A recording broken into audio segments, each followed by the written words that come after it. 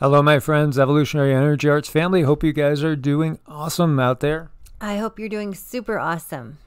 So, we're going to take a look at some of the earth changes going on.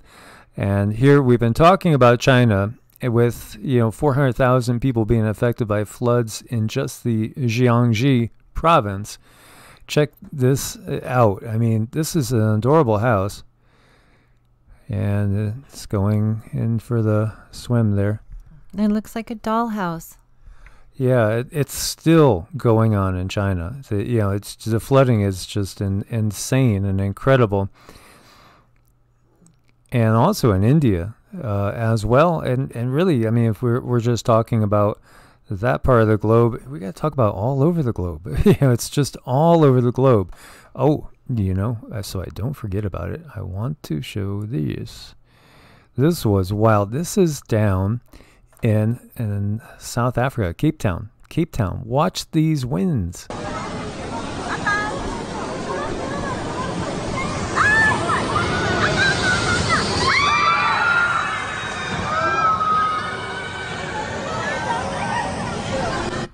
That was insane, was it not? I mean, those winds are powerful. It just blew that over like it was a Tinker toy. That's crazy scary. It is. It is. I want to thank one of our viewers that sent that in. Amazing what we're seeing out there, the power of nature. So we have Tropical Storm Fay officially forms off the North Carolina coast. Now it should not turn into a hurricane, but you know these are crazy times, uh, so you can't say you know no to anything in these times. But it does have the potential to bring a lot of rain up the coast into New York and into Connecticut, Rhode Island, and up into Mass and New England. So we'll keep an eye on that. It should not be a very powerful storm, but it hasn't taken powerful storms to bring tons of rain and flooding and chaos. No, it just seems like it's just happening. And if, if it, well, it did happen. So it is a named storm. So that's another record that's being broken. So it'll be number six, I believe. And, you know, that's another, yeah, that's another record because we had Tropical Storm Edward. That was number five, and this is number six. So, you know, records breaking everywhere. Over in Thailand, we see them paralyzed by major flash flood after a heavy thunderstorm as well. Typical scenes that we're seeing, you know, from China, from Japan, Thailand, just all over the massive flooding that is going on. And look at this. Look at that sinkhole. This is in St. Louis, Missouri. This truck just crashed into this massive sinkhole, which was caused by a water main leak. But then again, what caused the water main leak? You know, St. Louis is not far from the New Madrid as well. Um, so there's a lot of changes in the earth. There's a lot of changes in the earth's crust. And know, these are times of massive change. So we have severe thunderstorms that slammed um, a whole bunch of people in the Midwest. Powerful storms, more to come, and be very careful out there. There's been so many lightning strikes. Look at that photo. Is that not incredible? The power, the plasma, the life force. Oh, I love that color purple. It's absolutely gorgeous. But again, going through the central part of the, the country, uh, be on the lookout for severe storms heading your way. And we had a flash flood that took DoorDash driver on a wild, wild ride through the New Jersey drainage system. So this driver ended up getting caught in the rains. Natalia Bruno is her name. She's 24, making a delivery during a heavy rainstorm her, ca- her car got caught in deep waters on Monday in the Passaic, in Passaic, and it it was just swept uh, uh, with the waters. We've talked about that for years now, talking about you know don't take chances, don't think because you were able to cross a road that was a little bit flooded maybe a year ago you could do it again today. Everything is changing. So she was able to escape the vehicle as it began to fill with water, but the currents pulled her and the car into a brook that runs underneath the city. So rushing waters pushed her for about a mile before she was shot out into the Passaic River. That almost sounds cartoonish. It's, yeah, it's wild, and that reminds me of um, when I was a little kid. Uh, well, not too little, maybe ten years old. We used to go play in the river. Now, one of our favorite rivers uh, led to a tunnel, so you know went exploring, and it went under you know the town where I was living, and we were down there, me and my a couple of my buddies, just roving through the sewers with the rats and everything else, well underneath the town, and then we ended up coming up, you know, quite a ways away, uh, over by a park that we used to go to on the other side of town. Um, it was actually kind of a crazy, stupid thing to do, but you know, hey, I was like a ten-year-old kid. So, uh, this is from Amy McGrath. As I travel Kentucky, local officials and residents tell me they need infrastructure to deal with flooding. And so, when you look at this, new data reveals hidden flood risk across America. Nearly twice as many properties may be susceptible to flood damage than previously thought. Well, that's because things are changing. Yeah, definitely. pretty simple. The atmosphere is changing, the weather's changing, the severe floods are becoming a real common occurrence. And we have a winter pressure system that hits Cyprus in July. And so here here we are talking about the Mediterranean area and they're having a winter pressure system. Uh, highly unusual, n- not common in July when temperatures are typically reaching their their high. So we have these wild swings. And as you see, it's not normal to be affected by a winter pressure system during the summer, bringing temperatures down from, I'll use the Fahrenheit, anywhere close to 106 to 95 in a matter of days, only for them to go back up to 106 on the weekend when the system retreats. It, we're seeing just unusual things everywhere. Here you see sub-zero cold, record-breaking 4 meters or 13 feet of snow hit South America. And of course, it's winter down there, but again, uh, records are just falling left and right as we see buried houses under snow. And this is up in Montana, Glacier National Park. They're still digging out snow. Wow. Yeah, I, you know, th- this is the craziness that we have. And we were obviously watching, you know, all the quake activity, especially on the West Coast. So months after that 6.5 quake struck Idaho, the southern part of the state is still shaking, and scientists, the mainstream scientists, still don't know why. You know, they should just talk to Dutch, as so many of us do, or watch, uh, and, and really understand how things are going. Um, although I think what's coming might even be surprising uh, for Dutch, because I know, like, he doesn't believe that, you know, California is going to float off into the sea, and you know, even if we do end up with California being a series of islands and much of the West, you know, underwater. It's not really what he sees. He's, you know, he's in that middle ground. He's he, he's you know most definitely not along with the mainstream science scientists. Um, but at the same time, I don't think he's given credence to say what uh, you know Edgar Cayce saw at the same time. But there's changes afoot, most definitely. And, you know, we've had a lot of shaking, and let's, let's just take a peek at the USGS and see what else has um, arisen since I looked a little while ago.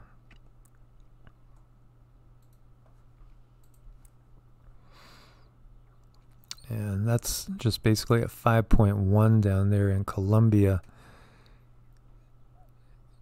And we got some decent quake activity going on right on the border between Georgia and Tennessee, and then North Carolina over here as well. This is Spruce Pine at 2.0, and then we have 2.4 over here, McCaysville, and 2.3 Indian Springs area. But you know, those are there are ancient faults that go there through there, as well as that being part of the Craton. And as we were talking about, we we you know, we still have quake activity going on.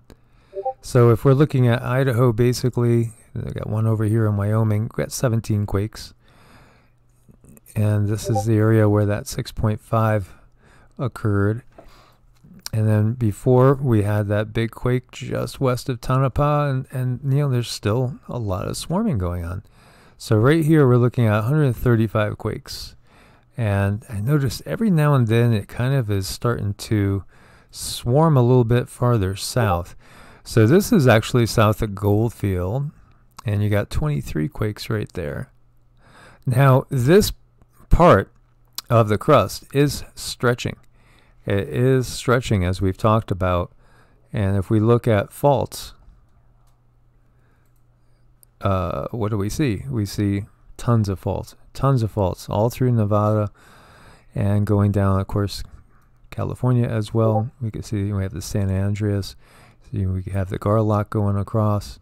So tons and tons of faults, and we can see how the faults run up into Utah, and they head right over towards our Yellowstone area. As we see the Idaho area, there's some faults here, and there are, are quakes right over there as well. So lots of changes going on, most definitely. We've had tremendous flooding and we have tremendous droughts. We have a tremendous drought out in the western U.S. developing. Satellites are showing signs of drought in European groundwater. Uh, the red is severe. So this is building. It takes longer to uh, replenish the groundwater because you're going to need consistent rains to get it to replenish. So ominous signs. The other thing too is like the Ukraine is a breadbasket. This is an area that produces a lot of food, and again, that whole side of it is just building. And so MagLab geochemists solved the mystery of Earth's disappearing crust. Well, it just basically gets recycled. And um, you know, they're just talking about how things have stayed pretty steady, about how the whole process goes. You know, when we have a subduction zone, uh, you know, it goes, the crust goes down in, gets melted, recycled, and there you there you have it. And they could tell by the composition of the crust itself. And perhaps in, in some places, uh, it, it gets put into the plumes that we see, such as Yellowstone is a plume. The Hawaiian Islands uh, are a plume as well, and we talked about that and just the fact of how it curves. Like when you look at this, this is a plume. The plume stays in one spot, and the crust moves. So we could see, you know, right now the plume is sitting right here, and it's moving. There's a reason, you know, why we have a, a, a progression. Like when we, you know, look at Mauna Kea, Mauna Loa, you know, they were more active. Well, Mauna Kea was active before Mauna Loa. Then Mauna Loa got to be the main one. Mauna Loa still is technically inactive. Um, and then you have Kilauea. And then we probably will end up with the plume moving off of the main island. Uh, you know, maybe uh, it'll just make the main island bigger, or perhaps it'll make more islands. But the thing that I'm really that I really look at and find as you know evidence of crustal displacement is this, because this shows how it moved. So it was kind of going straight, and and then all of a sudden er, we have a huge turn. And, you know, to me, that looks like that's bigger than 90 degrees, probably 110, 115 degrees. So at some point, if the plume is staying in one spot, the crust shifted greatly. And um, that's a wow. You know, I mean, can you imagine just what would happen with something like that? Pretty wild stuff and interesting. Astronomers spot four mysterious, unidentified circular objects in outer space. So, you know, they don't know what they are. Of course, they're not saying they're UFOs and they're circular. They're saying, well, it's probably just some sort of phenomenon that we don't know, maybe some sort of ancient blast of this or that. Or maybe it's just simply, you know, swamp gas from Venus. Well, yeah, I was thinking of a different planet, but yeah. uh, sure. You know, it's it's it's pretty wild stuff. So, it says they are high up in the sky relative to the galactic plane of the Milky Way.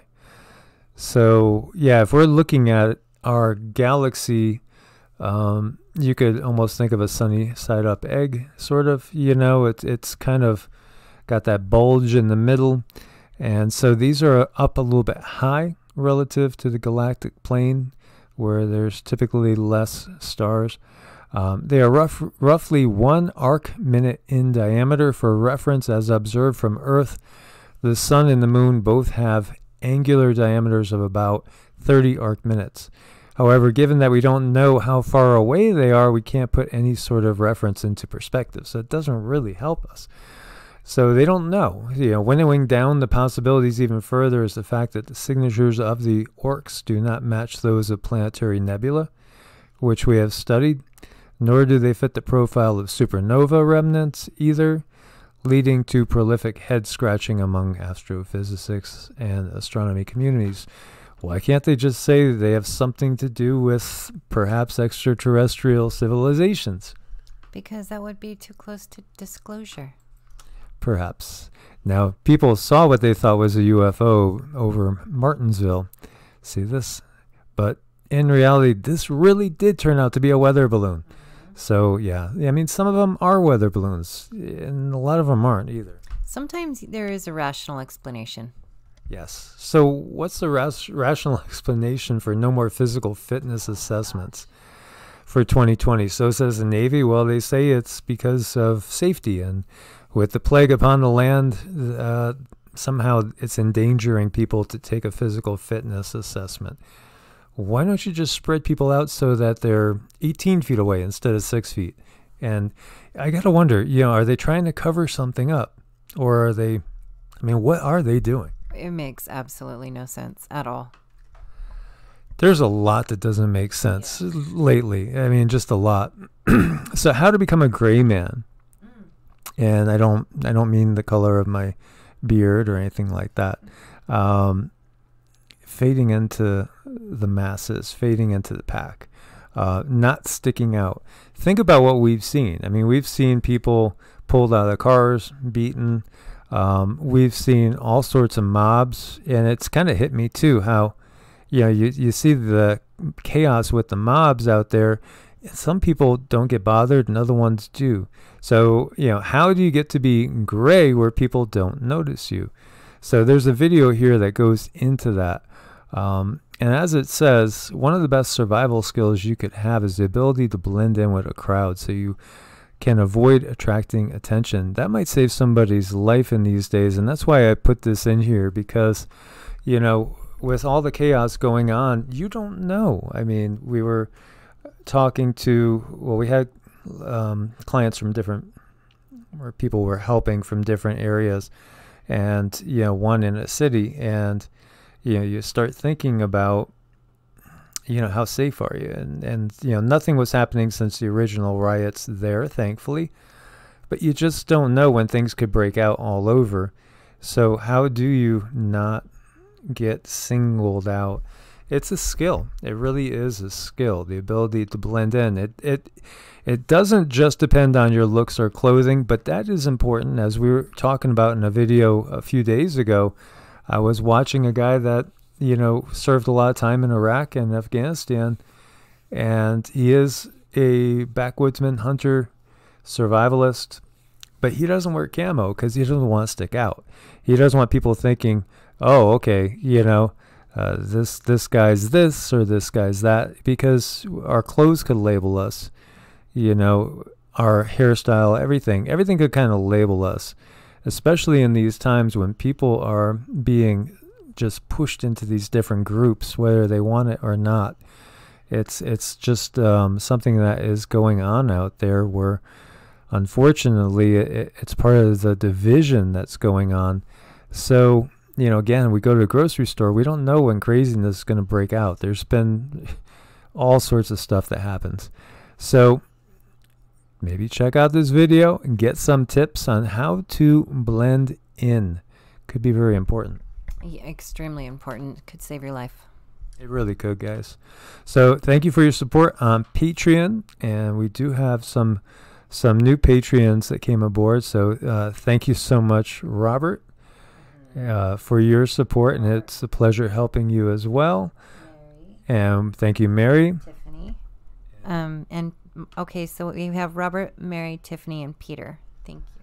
Thank you guys so much for your support. We couldn't do it without you, and also on Ko-fi, uh, where you could support one time or also on a monthly like Patreon. And then also join us over at Discord, which has been a wonderful thing. It seems to uh, really have solidified the family. It's constantly active. There's always people there, no matter what time of day or night. So we want to encourage you uh, to go check that out as well, and I'll put a link there for that. So, guys, as always, be safe, be prepared. God bless, and namaste. Namaste.